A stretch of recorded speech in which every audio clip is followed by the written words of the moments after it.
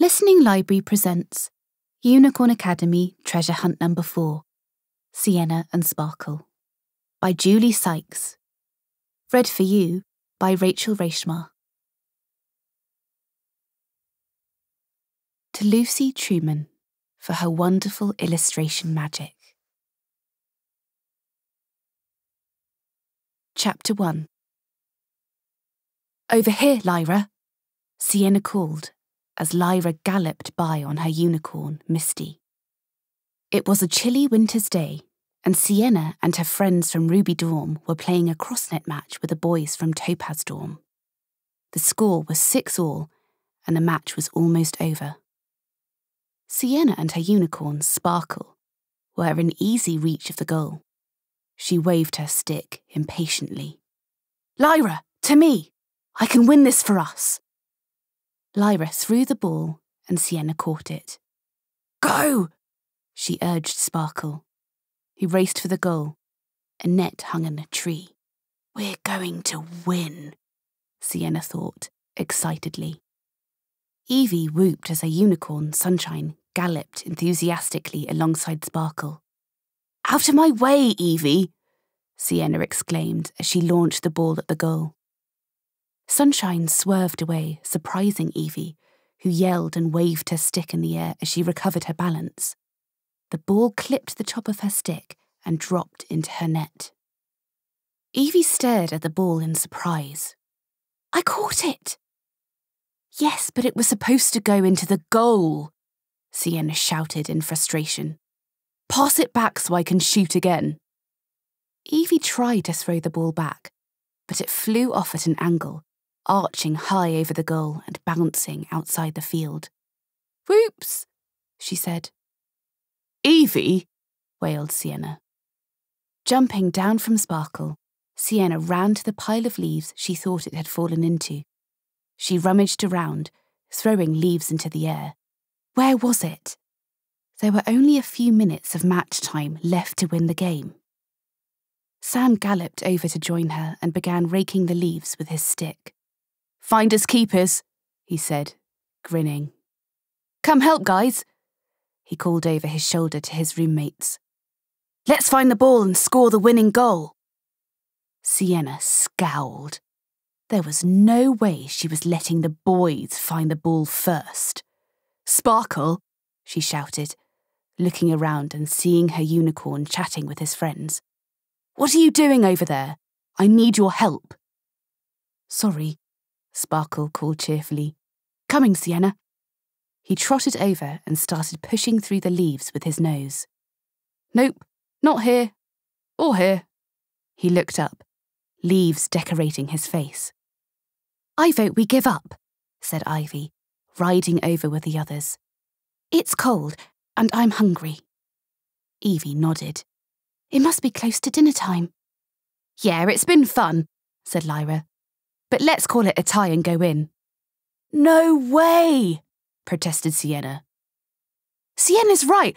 We're not giving up yet, said Reuben, who was searching with Topaz Storm. Storm, Reuben's unicorn, stamped his hoof. I'll help find it, he said eagerly. A familiar, sugary smell drifted past Sienna.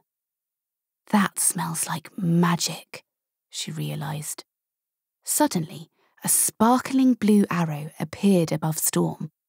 What's happening? Reuben exclaimed. They all gaped at the quivering arrow. It hovered above Storm for a moment, then shot away to a nearby bush. It pointed toward the ground, bobbing up and down. Storm whinnied in delight. Reuben, I must have finding magic just like my great uncle. That's amazing, said Reuben, hugging him. Finding magic sounds awesome. How does it work? If we follow the arrow, I think we'll find the ball. Storm trotted to the bush. Reuben ran after him, fell onto his stomach, and wriggled underneath the bush. A few seconds later, he reappeared, holding up the ball. Storm did it! He's the best! Forgetting about the match, everyone crowded around to congratulate them. You've both bonded too, Lyra said, pointing at a green and silver streak that had appeared in Reuben's dark hair. Bonding was the highest form of friendship between a student and their unicorn. When it happened, a lock of the student's hair turned the same colour as their unicorn's mane. Students and their unicorns came to Unicorn Academy to train to be guardians of the beautiful island where they lived.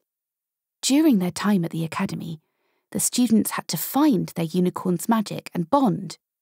If that hadn't happened by the end of the first year, they returned for a second year. This means everyone in Topaz Dorm is going to graduate together at the end of the year, exclaimed Sam. The boys cheered and high fived each other. Lyra, Evie, and Ivy joined in, but Sienna felt her stomach twist into a knot. She and Sparkle were the only pair in Ruby Dorm not to have found their magic all bonded, and she was finding it harder and harder to deal with.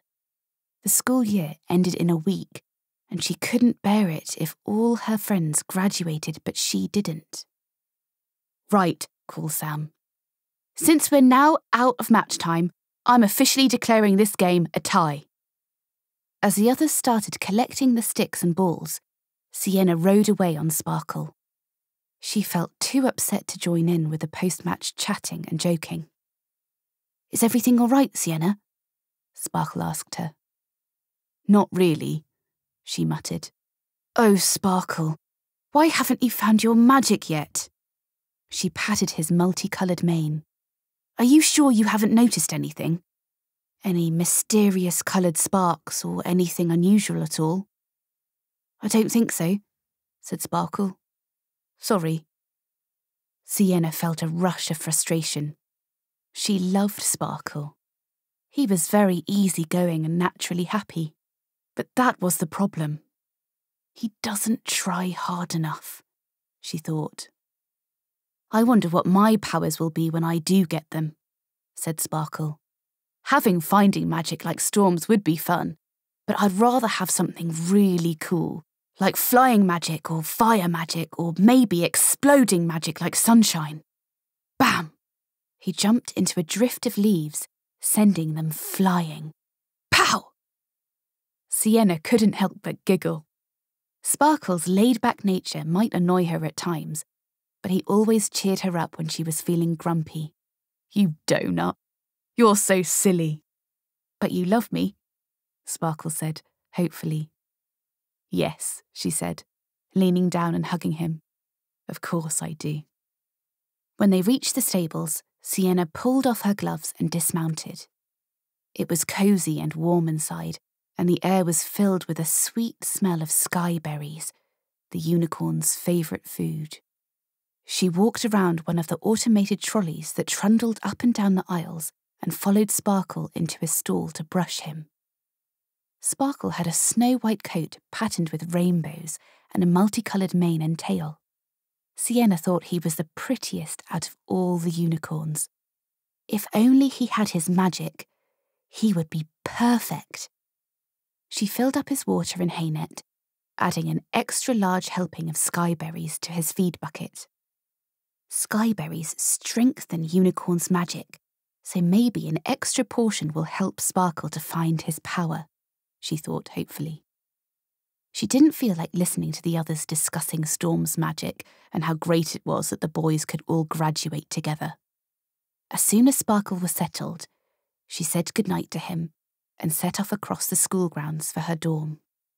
The first stars were just starting to twinkle, and Unicorn Academy rose up in front of her, its marble and glass turrets and towers silhouetted against the darkening sky. I love it here, Sienna thought, but I don't want to stay another year without all my friends. Oh, I hope Sparkle finds his magic soon. Chapter 2 are you okay? Evie asked Sienna when she, Ivy, and Lyra finally arrived back at the dorm. Yeah, how come you didn't help us clean up after the match? said Lyra. Sienna made a face. Sorry, She'd been so upset that she'd forgotten about helping. I, um, I wasn't feeling very well. She didn't like lying to her friends, but she didn't want to explain and have them all feeling sorry for her. Are you feeling better now? Ivy asked, in concern. Sienna nodded. Yes, thanks. Jumping up, she went to the. We hope you enjoyed this preview. To continue listening to this audiobook on Google Play Books, use the link in the video description.